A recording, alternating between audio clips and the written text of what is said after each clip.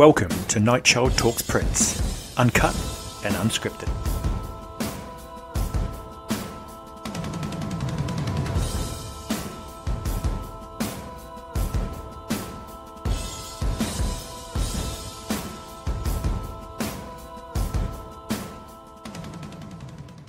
And now a word from our sponsors.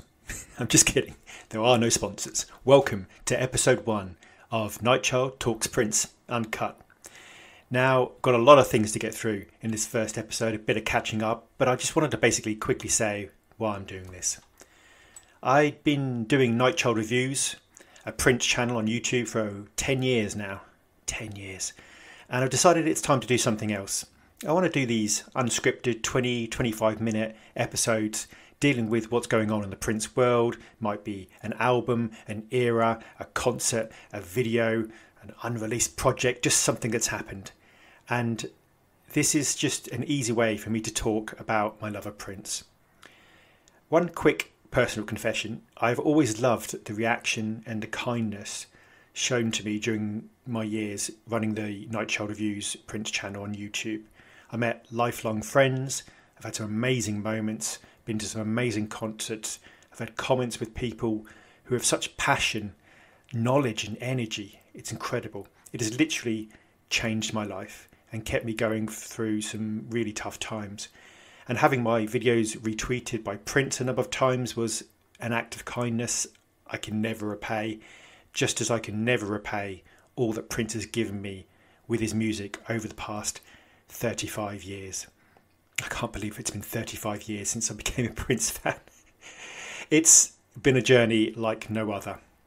The only thing is, I will confess, I never really liked the technical side of making videos. You know, the editing, the software, the time spent on it, the frustration. Uh, because for me, that was all time I could be talking about Prince and trying, just in my own little way, to spread some of the joy he has given me through his creativity. So, this podcast allows me to talk about a wider range of Prince topics and to do more and to produce much more content. It's back to basics, stripped down and simple in these rather crazy times. I truly hope you'll forgive me that indulgence. So, the first thing to say is really why Prince. Um, I bumped into somebody who is a friend, isn't a Prince fan, and I talked about the podcast, and he said, "Why, why Prince? Why, why are you talking about Prince?" Well, for me, it's simple. I believe he was the foremost genius of our times.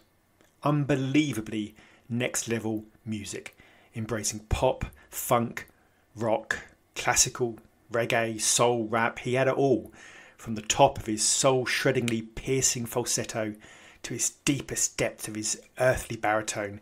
He had a vocal range like no other. But this is just the tip of the typhoon, as Prince might say. He was a band leader, a master musician, a peerless guitar player, a stunning bass player, a transcendent piano and keyboard player, a drummer, a drum programmer, a producer, an engineer, a mixer, and a truly unmatched songwriter who created the Minneapolis sound. Not only writing countless hits for himself, but for his own groups such as The Time, Vanity Six, Apollonia Six, Mazarati, Jill Jones, to name just a tiny few and songs that just became hits for established artists such as Chaka Khan and Tom Jones, and also helped to catapult people to stardom, such as the hauntingly memorable Nothing Compares to You did for Sinead O'Connor.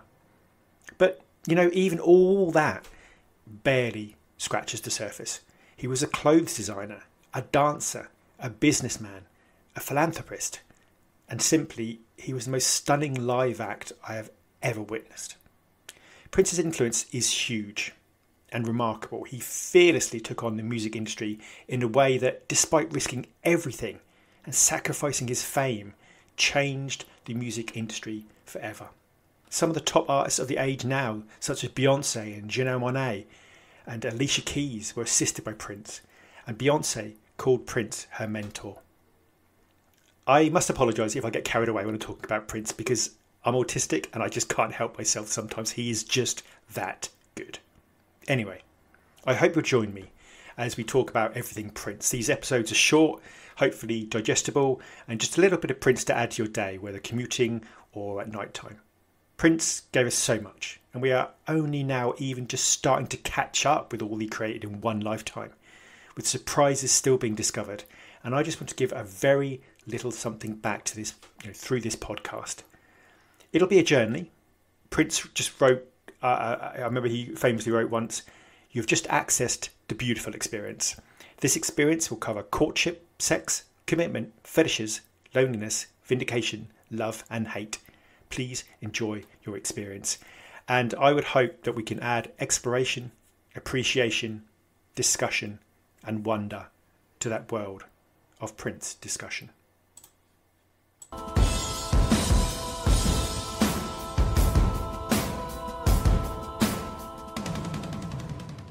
So let's begin. What's been happening in the Prince world over the last few months? Well, we've had America's Got Talent, a group, a huge kind of choir gospel group called Sainted, basically performed Purple Rain on America's Got Talent.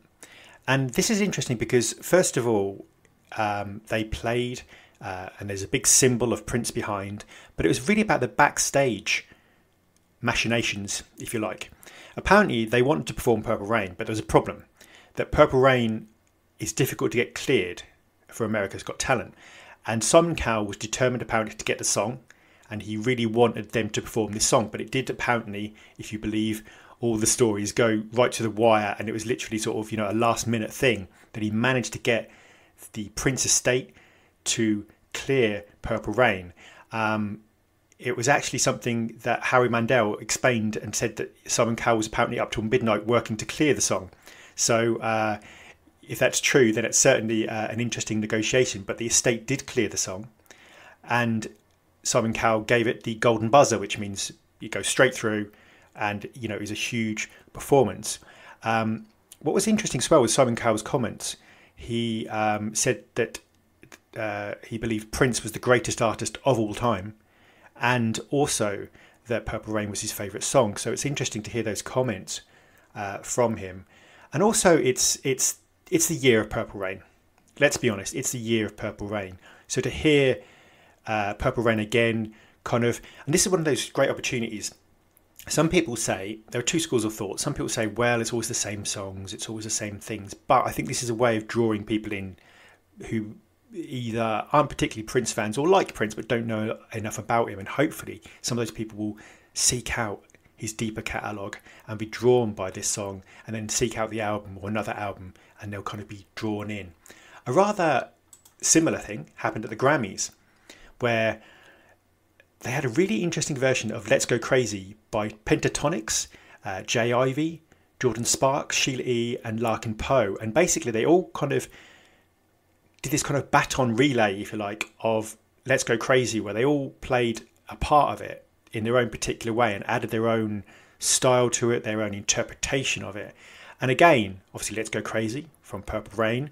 This is a way of getting lots of artists at the 2024 Grammys to really kind of like not only pay homage to Prince, but to draw people in and say this is, you know, one of the great artists of our time. And everybody puts their own spin on it. And there's so many different ways you can interpret that song. And Let's Go Crazy, I, I believe, is one of the greatest existential songs there is. I, I could, you know, I've done a whole video about it on my YouTube channel. I think it's incredible, absolutely incredible. So to see that was fantastic. I am always one of those people who want as much Prince out there as possible, and sometimes in the mainstream, I know it's always it's always the same songs. But this is the year of Purple Rain. I think we have to forgive them this time. You know, it's it's Let's Go Crazy. It's Purple Rain. That's what it's going to be this year, and obviously with all the Purple Rain 40th celebrations. But I think, you know, fantastic to see all these artists because the one thing it does is it then makes Prince trend on on Twitter or X, whatever you want to call it, on, on you know Facebook. Um, it, it allows an audience to hear his work or hear interpretations of his work that perhaps were into other musical artists, and that's how you find out how you discover Prince for some people. They will be watching the Grammys for, say, an artist they like, but then they'll hear this and they think, okay, that's interesting. I might want to know more. So I'm always for that. I think the more publicity you can do for Prince, the more people might come into this and they will grow his legacy. I think that's the same with React to videos when people you know go on YouTube and they listen to Prince songs for the first time, and you see their reactions. Now, some people like that, some people don't, but I think it's getting younger people particularly interested in Prince, and I think you know that can only be a good thing. I personally very much believe you shouldn't be, you know, a gatekeeper. You shouldn't be somebody who says, well, we've all been in those groups where somebody says something about Prince, it's not quite 100% accurate, and people jump on them or say, You don't know Prince, you don't understand, you're not a real fan. I don't like any of that. Let's bring everybody in. You know, everybody had to start somewhere. Everybody began knowing hardly anything about Prince, and nobody knows it all. And just, you know, I learn something every week from people, and I just think, you know, let's just enjoy the music and embrace everybody as part of that. So those two performances, the America's Got Talent and the Grammys, were really quite interesting things uh, happening. The other thing I really caught my eye was uh, Purple Rain. Again, this is Purple Rain year, is to become a Broadway musical, and this is incredible. Um, the Pulitzer Prize finalist Branden Jacob uh, Jacobs Jen- Jenkins is apparently going to turn Purple Rain into a musical, um, which is really interesting. Um, I'll just read from a bit uh, from the press release uh, from Londell uh, McMillan, uh, who's obviously uh, you know in charge to an extent of the the Prince estate. He said it's been almost 40 years since Prince's legendary film Purple Rain took the world by storm, and we can't think of a more fitting tribute than to honour Prince and the Purple Rain legacy with this stage adaptation of the beloved story. We are thrilled with our Broadway partners and creative team who are bringing a theatricality to the film's original fictional story. We can't wait for a new generation to discover Purple Rain and for lovers of the original film and album to experience its power once again, this time live. Now, the thing is, films and musicals can have a huge impact on an artist's legacy. You only have to look at Bohemian Rhapsody and how that, you know, really energized uh, new Queen fans. You only have to look at uh, the Tina Turner musical. You only have to look at these long running stage shows where this can really draw in a new generation uh, for Prince. There have been some concerns, which I understand. There, the concern is that there are certain parts of the film, which obviously you know was 1984 and mid 80s. It's a very different time to now, and if you wrote it now, you wouldn't write it in the same way. So there's concerns about how that's going to be changed, what aspects are going to be changed, how true it is going to be to the original story. Now, that'll be interesting. That's a very difficult balance to make because do you stick to the original story, warts and all, uh, you know, um, and and then there's elements of um, there's accusations that some parts are seen as misogynist now, or do you say, well, this is a modern interpretation of Purple Rain, and this is you know how we would tell the story now. So it's going to be really interesting. It's a very difficult balance uh, to get. Um, I would say that certainly in, in, in the movie there are aspects where Morris Day's character, for example, is quite misogynist, but that's telling you something about his character. You know, the Morris Day character, not Morris Day the person. It's you know Morris Day in Purple Rain is the baddie. Sorry for the spoiler alert. So I think it's going to be really interesting. Um, this potentially, you know, if it does well, uh, can keep going, you know, keep uh, bringing new people into Prince, and you know that would be really interesting to see how well that's supported. I'd love to be a be a situation where you know I could go to London to see that or something like that. I think that would be really interesting. So I think at the moment there was some adverts for the role, uh, the roles sorry within the musical for Prince and uh, you know Apollonia, and it's quite interesting to see who they're going to choose because you need someone really who can sing, dance, and have the magnetism of Prince, which, let's be honest, isn't possible, but you can just try and do the best you can, I guess. Um, but the songs alone, obviously, you know, Purple Rain, When Doves Cry, Let's Go Crazy, I Would Die For You, the beautiful ones, you know, it's just going to be a really interesting thing. And I think I like the idea of exploring Prince through lots of different ways. There's music, yes, but Prince himself was into uh, you know, th- uh, theatre, uh, ballet with the Joffrey Ballet, uh, theatrical productions, Ulysses, things like that. He kind of, you know, he really liked different kinds of media. So I think that would be really, really interesting for, uh, for me. The other thing, and I'm always a fan of this, The Vault, Old Friends for Sale.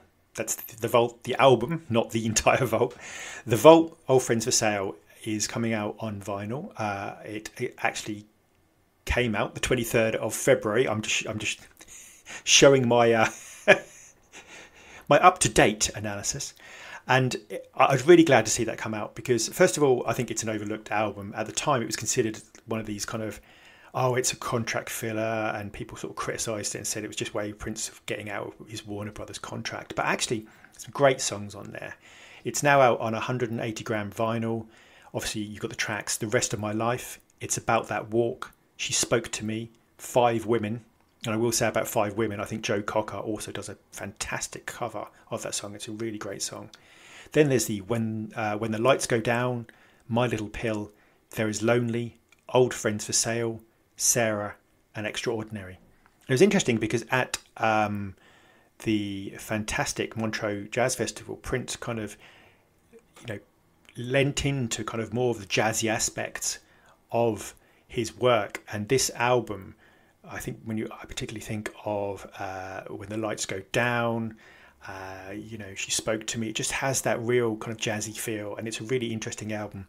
I believe the first thing that needs to happen is everything Prince put out, every official release, and I'm including, you know, the proteges. I'm including uh, the Time or Vanity Six or Apollonia Six or English Affairs, or every album should be out there so people can actually access it that's the most important thing. Get the work out there. That's the first thing you do as a estate. Get everything Prince did officially out there. That's the ba- basic thing you should, you need to do, and I think this is part of it. And it creates a little bit of a buzz. I think always take advantage of these things. Take advantage of Record Store Day. You know, always put something out for Prince. There's so much to put out, so much he has. Never miss a chance. And Record Store Day should never go by without, uh, you know, something from Prince. So I would say that's you know another positive thing. The more we can kind of get all this work out there, because there's still some albums out there that just you know are being neglected, are are kind of not available to purchase in various formats or aren't on streaming or whatever. And I think that's that's really really important. Um, I think the other thing I was going to mention is that it's a really difficult time in terms of the Prince Estate. And when hasn't it been a difficult time? Because it's been a difficult time for the Prince Estate for quite some time in terms of lawsuits. I think you know they've spent nearly forty million pounds, um, forty million pounds on uh, lawyers, which is just you know I, I, I can't even get my head around how you can spend that much on uh, you know on lawyers. But there is now another uh, lawsuit. Um, now, obviously, I'm not going to go into the, the, the huge details. That would take up a huge, uh, you know, uh, an episode all on its own, quite frankly. Um, but it's basically, you know, an, an internal uh, dispute. Um, there's parts of the family who are not happy uh, with the situation. Um, basically, um, we have these two competing camps, and we have the um, sort of the family side of it and the company primary wave and the family side had uh, Londell McMillan and Charles Spicer to manage them. However, um, McMillan and Spicer filed a lawsuit that alleged four of Prince's family members had been improperly trying to force them out of the company, trying to get rid of them. Um, so the new lawsuit from McMillan and Spicer is against uh, Prince's half sisters Sharon Nelson and Norrine Nelson, his niece Brianna Nelson, and his nephew Allen Nelson. And uh, McMillan and Spicer wrote, according to Billboard, the individual defendants lack any business and management experience, have no experience in the music and entertainment industries, and have no experience negotiating and managing high level deals in the entertainment industry. Now, without going too deep into this, you could do a whole thing about this there are only two things I think most people agree on. One, we've spent enough money on lawyers, forty million pounds just gone. I mean, it's insane. It's taken. I mean, you think how long we are. We're approaching, you know, eight years down the line. And second of all, you know, we just need to get on with it.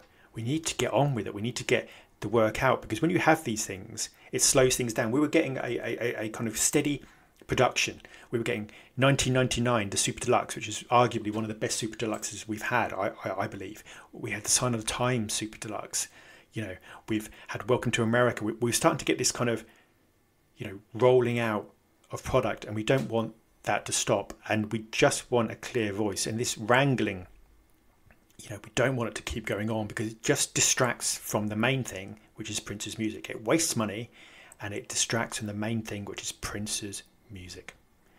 So I'll leave you on that note. Sorry it's depressing. I would say, as a counter to that, my biggest piece of mental health advice ever put your headphones on, put Prince on, go for a walk somewhere, whether in nature or just get outside or just close your eyes or whatever you want to do. Just put Prince on, turn those headphones on, and escape to another world. And Prince can do that. He can transport you. His positive impact on my mental health, and I know mental health of other people, is incredible. So that's all I'd recommend. Headphones, Prince, enjoy your day. And I'll see you very soon. Thank you. Welcome to Nightchild Talks Prince, uncut and unscripted.